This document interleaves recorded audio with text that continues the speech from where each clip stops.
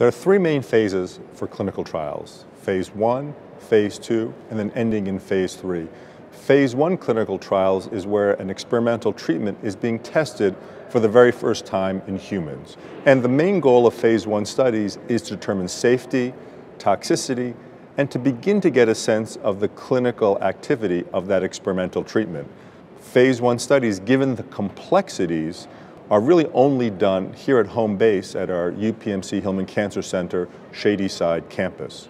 Phase two studies investigate in more depth the safety, toxicity, and the clinical activity of an experimental agent in a particular disease or diseases. And the beauty of phase two clinical studies is that they can be offered throughout our entire oncology network within the UPMC Hillman Cancer Center.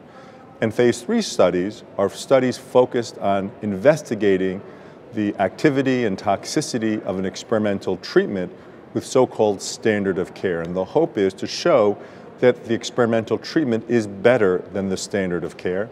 And the phase three studies are conducted throughout our entire oncology network within the UPMC Hillman Cancer Center system.